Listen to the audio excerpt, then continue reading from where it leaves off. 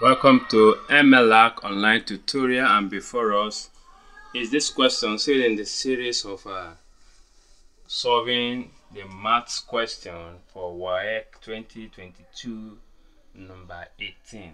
So this is question number 18 and it says in an examination a score of 154 is 44%. What is the maximum score for examination? Now what this implies is what is the 100% of the score?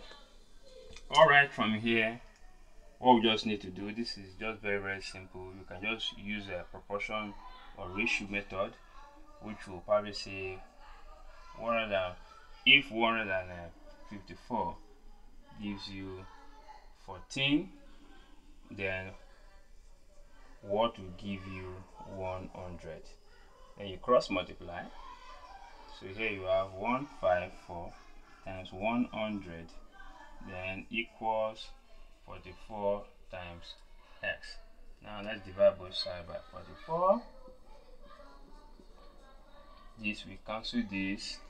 All right 11 here 4 11 in 15 is 1 mean that 4 in 44 is 4 okay?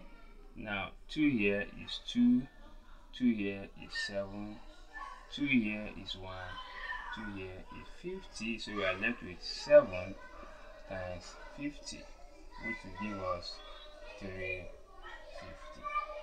all right. So the maximum score is 350 all right. You can also use this method that the maximum score which is x we don't know the maximum score. So 44 percent of this one will give this. So here we have times 44 percent equals 154 right? So here we now have that x because this is actually the maximum score. So this is the maximum so the 44 percent of the maximum score will give us 154 so with this now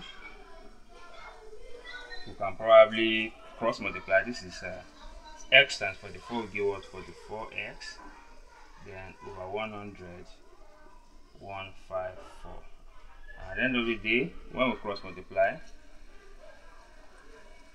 so we have uh, 44x equals 15400 and when you divide through we're still left with this which will end up as 350 all right this is the final answer. And if you love what i've just done please kindly subscribe to my youtube channel. And ensure you click on the notification button to be notified of every video that i'll be uploading on this platform both in physics chemistry and mathematics. Thank you and god bless you thank you